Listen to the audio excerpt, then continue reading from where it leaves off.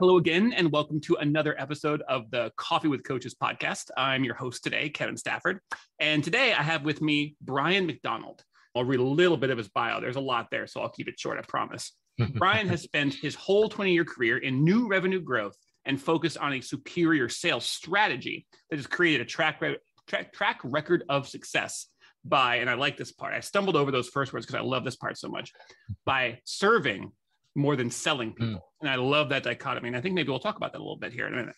He's a partner at onPurpose Growth, a coaching and consulting firm that serves entrepreneurs who have ambitious yearly or multi year revenue goals to fulfill that ambition.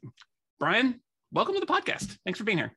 Yeah, yeah, it's awesome being here. I thanks for the, the great intro, and I'm excited to be here and excited to, to have this conversation. Well, let's let's begin at the beginning, as I like to sometimes say. What got you into coaching? I mean, obviously you've been into coaching for most of your adult life, but what really prompted you to move into this business and to stay with it for so long? So, you know, being in sales my whole career, you know, early on when I didn't have a coaching business, I did a lot of referral business, and my network always used to ask me about, you know, how I was getting into places, how I was handling sales conversations, and people were asking me like, "Hey, let me, you know, let me grab grab buy lunch or buy a drink or buy a breakfast or buy a coffee and and kind of explain to me how you did that. So i was just doing some like coaching on the fly. I, well actually was just sharing you know with my network. And finally uh, there was a a friend of mine who uh, had come to me and said hey i'm i'm in commercial banking. I don't want to be in commercial banking anymore. I want to be in the investment world. Will you help me make that switch and I said, yes. So I would meet him. He was my very first coaching client. I would meet him for lunch at his office. And in the first six months of him being in, in the, in the trades or in financial services, he was top three in every metric that they kept and on a path to make a half a million dollars. I mean, he, he did a lot of work, right? It wasn't on me, definitely not on me, but I was like, Hey, this doesn't feel like work. He got, he got really good results and this is fun. So soon after that, we started onPurpose Growth. It's it's I keep coming back to this every time I think about it. The st- all these all these foundation stories, all these origin stories are so familiar.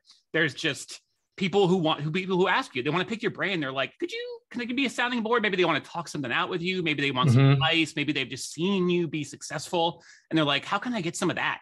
And then that desire mm-hmm. to serve, that desire to help, like you you're also Yep. hitting on that too, where it's he immediately, like almost immediately, got into great success, and you mm-hmm. immediately and your first instinct was he did the work, I just helped and just the way you're immediately Oh. the way that coaching brain works it's just i i always i don't i wouldn't say i marvel at it but i'm always impressed and just delighted by it because it's it's such a servant mindset and that's just i love to hear about it i love seeing it Yeah, I appreciate that. Yeah, I mean that's kind of what you said in the intro there is, you know, I'm out to in, in regards to sales and revenue growth, I'm out to change the narrative that um, people in a selling situation, specifically entrepreneurs, are are not sleazy salespeople. That they're they're actually there to help, and there's a bunch of different dynamics that we're going to have to change uh, to to make that happen. And I'm going to make the impact that I'm going to make. It's I don't think it's going to change the world, but I'm definitely going to put it in, shoot it in a different direction. Piece at a time that's the work. Mhm. so speaking of that let's talk about what you do in your coaching practice in your coaching business. What would you say and i like to throw this term out there to be interpreted as you see it. What would you say is unique? Or spe- maybe special might be a better word but what would you say is unique about your approach to coaching and your coaching practice today? Uh, for context, almost solely got very few actual salespeople as clients. Everybody's an entrepreneur, so it's helping them become the people who they desire to be. Because there's, uh, in my perspective, it's as much as about personal growth as it is about uh, developing sales school skills and sales mindsets. So it's helping develop the the full person.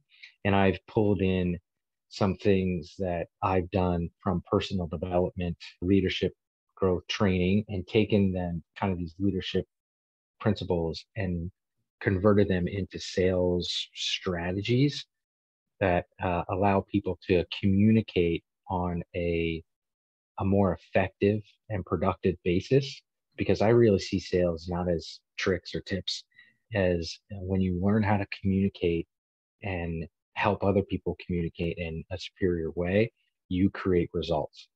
I like that approach because a lot, a lot of people they'll try to teach you like I like the tips and tricks. It's sort of outside in approach where it's like learn how to do these things to become a better salesperson. Whereas your approach and an approach I'm finding more common these days, but still relatively rare, is more of an inside out where you work on the person mm-hmm.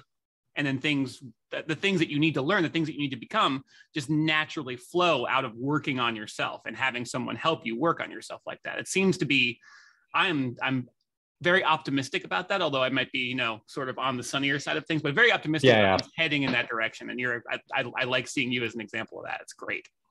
Yeah, I appreciate that. And, and I've just noticed that, you know, I help people solve the problems that they want that they come to me for, right?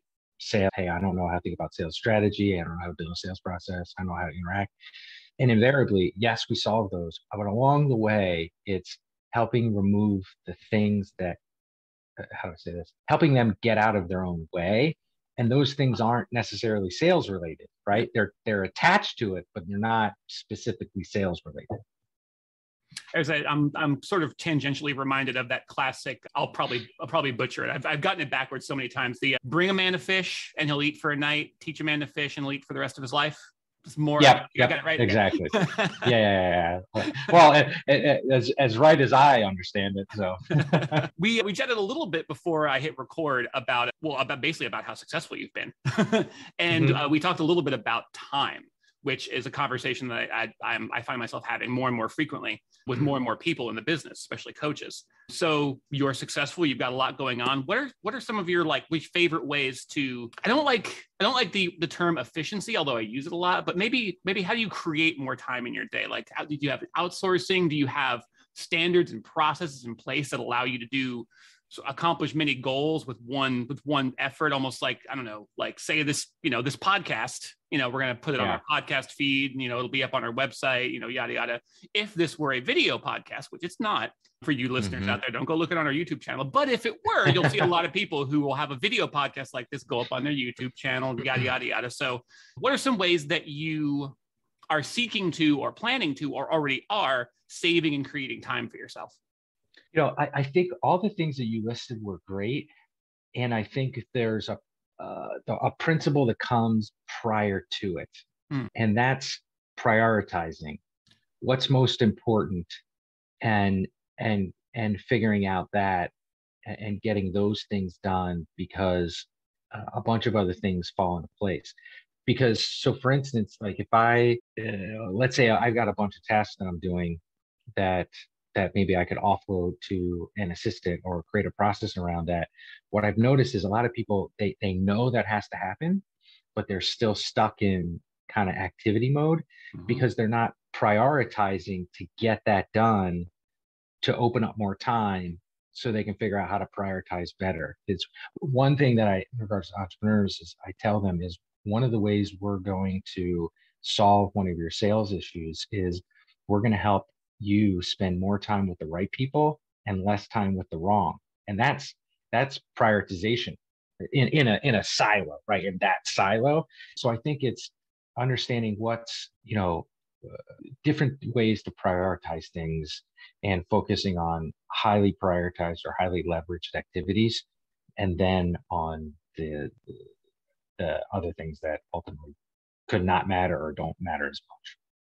I love that I love that. And it's again, it's something that I I know to be correct, but always struggle with taking that. And I, I usually boil it down to a a quality versus a quantity versus quality measurement mm-hmm. where it's like mm-hmm. I can't I can't create more time. I'm not a wizard or a time mm-hmm. traveler. Mm-hmm.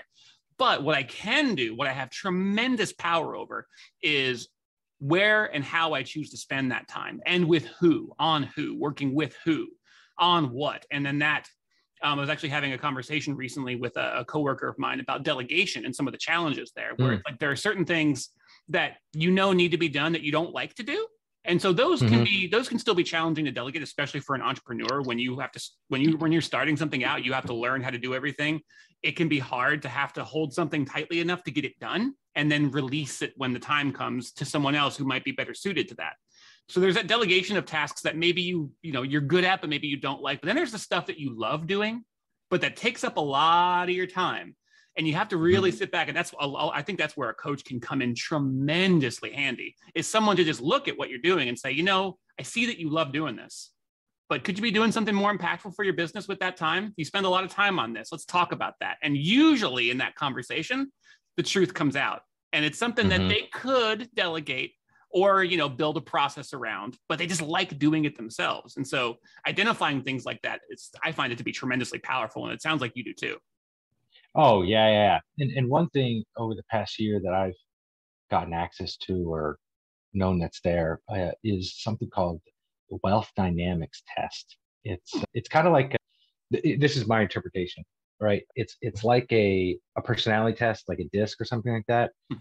But I believe it's specifically for entrepreneurs.